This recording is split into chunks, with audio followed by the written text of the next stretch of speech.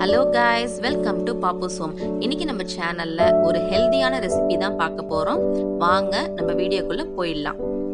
அதுக்கு தேவையான இன்க்ரீடியன்ஸ் பச்சரிசி இட்லி அரிசி உளுந்து பாசிப்பருப்பு கடலைப்பருப்பு பருப்பு. இப்போ இது எல்லாத்தையும் நம்ம ஊற வச்சு எடுத்துக்கலாம். நான் வந்து ஒரு கப் இட்லி அரிசி எடுத்திருக்கேன். அரை கப் பச்சரிசி அடுத்தது பருப்பு ஒரு கப் எடுத்திருக்கேன். நெக்ஸ்ட் கடலைப்பருப்பு ஒரு கப் எடுத்திருக்கேன்.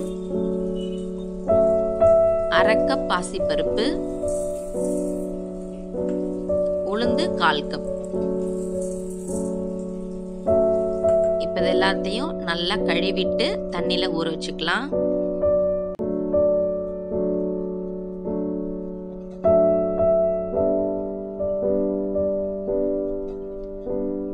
ஒரு ரெண்டு மணி நேரம் ஊறட்டும். அதுக்கப்புறம் நம்ம மாவு அரைச்சி எடுத்துக்கலாம். அரிசி பருப்பை நல்லா ஊறிடுச்சு. நம்ம மாவு அரைச்சி எடுத்துக்கலாம். ஃபர்ஸ்ட் நான் மிக்சியில் கொஞ்சமாக அரிசி சேர்த்துக்கிறேன்.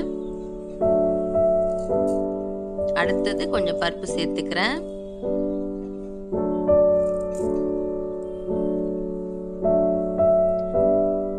கூடவே வரமிளகா ஒரு அஞ்சுலேருந்து ஆறு நான் சேர்த்துக்கிறேன். உங்கள் காரத்துக்கு ஏற்ற மாதிரி நீங்கள் சேர்த்துக்கோங்க. ரெண்டு ஸ்பூன் சோம்பு சேர்த்துக்கிறேன். கூடவே தேவையான அளவு உப்பு சேர்த்துக்கிறேன். இப்போ இது எல்லாத்தையும் நம்ம நல்லா அரைச்சி எடுத்துக்கலாம்.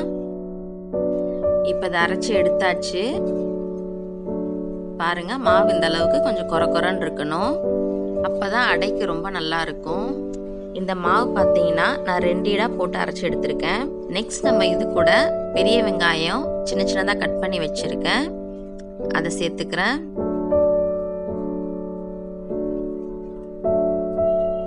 கூடவே கொஞ்சமாக முருங்கைக்கீரை சேர்த்துக்கிறேன்.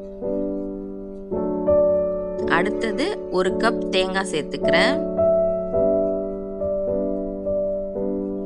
நெக்ஸ்ட் கொஞ்சமாக கருவேப்பிலை சேர்த்துக்கிறேன். கூடவே கொஞ்சம் மல்லித்தலையும் சேர்த்துக்கிறேன். இப்போ இது எல்லாத்தையும் நல்லா மிக்ஸ் பண்ணி விட்டுருங்க. அவ்வளோதான் இப்போ அடைக்கு மாவு ரொம்ப சூப்பராக ரெடி ஆயிடுச்சு. நெக்ஸ்ட் நம்ம அடையை ஊற்றி எடுத்துடலாம். அடை மாவு பார்த்தீங்கன்னா கொஞ்சம் கெட்டியாக தான் இருக்கணும். கொஞ்சம் தண்ணியாக கலந்துட்டிங்கன்னா அது தோசை மாதிரி ஆகிடும் இந்த அளவுக்கு திக்காக இருந்தால் தான் அடையும் ரொம்ப டேஸ்ட்டாக இருக்கும். முடிஞ்ச அளவுக்கு மெலிசாக ஊற்றிக்கோங்க இந்த அடையில் பார்த்தீங்கன்னா ஒரு சில தேங்காய் வந்து நல்லா பல்லு பல்லாக அரிஞ்சு கூட போடுவாங்க. அது இன்னமும் சூப்பராக இருக்கும். நான் தேங்காய் பூ தான் ஆட் பண்ணியிருக்கேன். உங்களுக்கு எப்படி பிடிக்குமோ அது மாதிரி நீங்கள் சேர்த்துக்கோங்க. நெக்ஸ்ட் இதுக்கு ஆயில் ஆட் பண்ணிக்கிறேன். அடைக்கு வந்து எப்பவுமே எண்ணெய் கொஞ்சம் நிறையா இருந்தால் தான் மொறு மொறுன்னு சூப்பராக இருக்கும் அடை. அதனால் கொஞ்சம் எண்ணெய் கூட சேர்த்துக்கோங்க.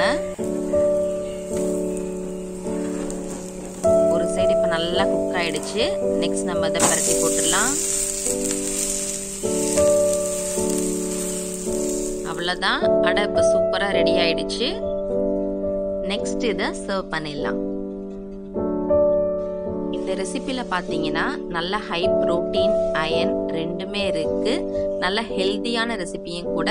ஸோ கண்டிப்பாக உங்கள் வீட்டில் ட்ரை பண்ணி பாருங்கள் ட்ரை பண்ணி பார்த்துட்டு எப்படி இருக்குன்னு கமெண்ட்ஸில் சொல்லுங்கள் அப்படியே இந்த தேங்காய் சட்னியை வச்சு இந்த அடையை சாப்பிட்டீங்கன்னு வச்சுக்கோங்க. அவ்வளோதாங்க இந்த வீடியோ உங்களுக்கு பிடிச்சிருந்துச்சுன்னா லைக் பண்ணுங்கள் ஷேர் பண்ணுங்கள் மறக்காமல் நம்ம சேனலை சப்ஸ்கிரைப் பண்ணுங்கள் அப்படியே பக்கத்தில் இருக்க பெல் ஐக்கானையும் கிளிக் பண்ணுங்கள் Thanks for watching.